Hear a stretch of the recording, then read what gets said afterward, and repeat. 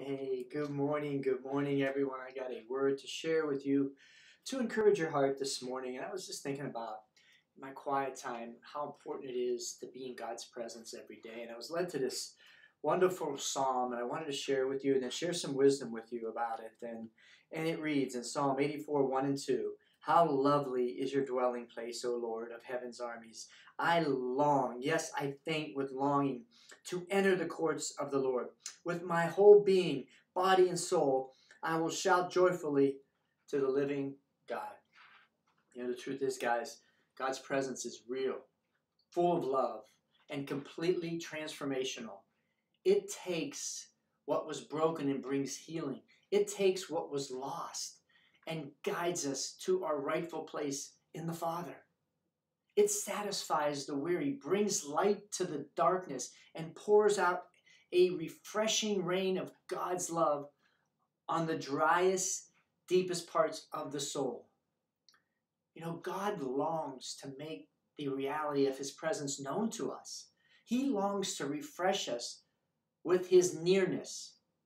My friends, we were created for encountering God. And the truth is, we will never be fully satisfied until we continue to live in the experience for which we were created.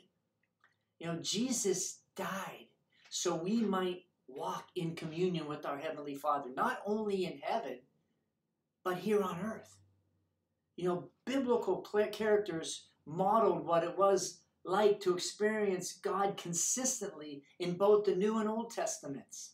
God, in His desire to have a restored relationship with us has made the reality of his presence fully available to us.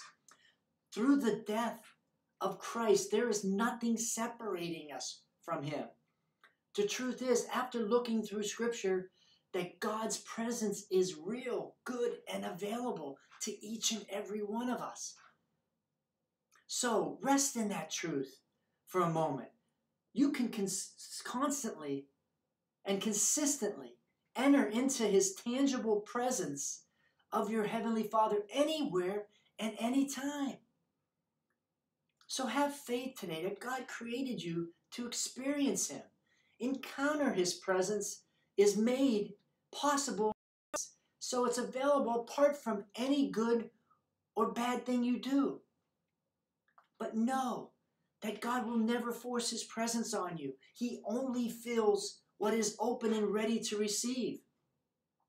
He sweetly calls you to meet with Him and waits for you to make space in your life to receive what He longs to give.